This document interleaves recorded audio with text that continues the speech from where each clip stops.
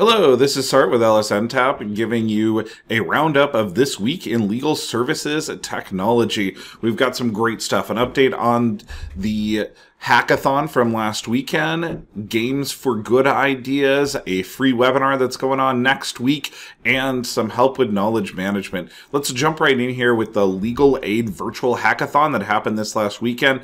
Awesome event. Big thank you out there to Joseph and to Abhijit for running a wonderful event. Really well done.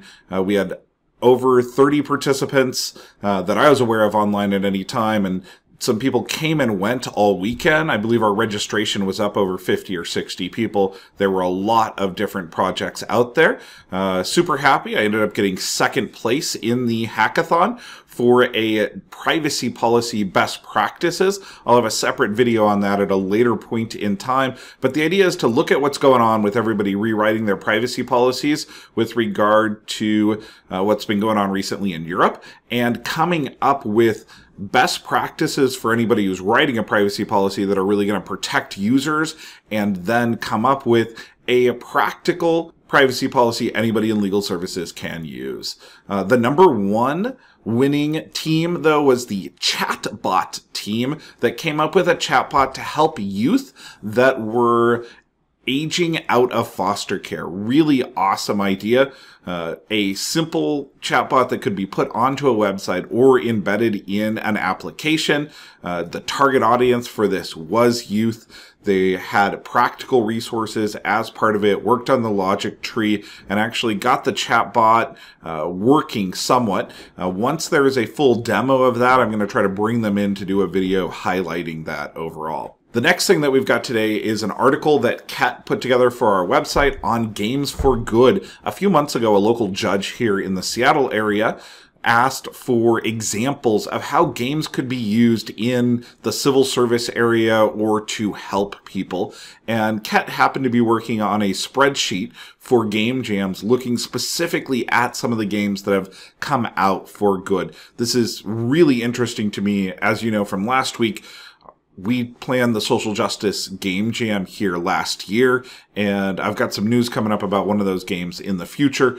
But finding better ways to teach the law, to get people involved in learning about civics is really a passion of mine. And Kat has this wonderful spreadsheet that is available. Uh, the link is down there. You can also find it on the LSN Tap website, but it's got over 20 games that are really designed with this civics idea in mind or other purposes or with a mission as part of it.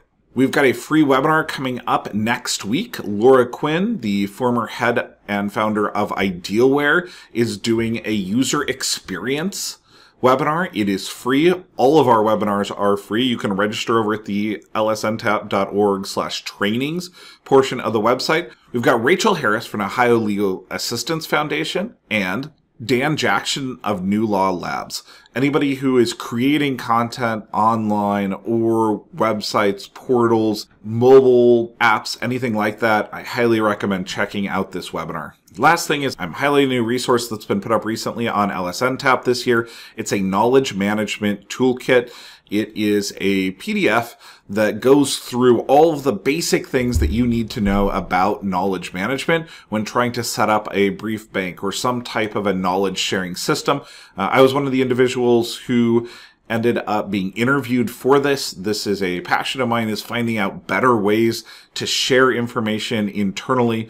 One of the big takeaways for me in this area has been that community doesn't create itself. You need some type of a manager. You need someone who is going to really own that project and champion it for people. It's an extremely practical guide. There are lots of worksheets and pieces for implementing, understanding the ways that you would use knowledge, the who should have control, who should have access, who should own it. So it's super practical. Definitely recommend checking it out over at lsntap.org.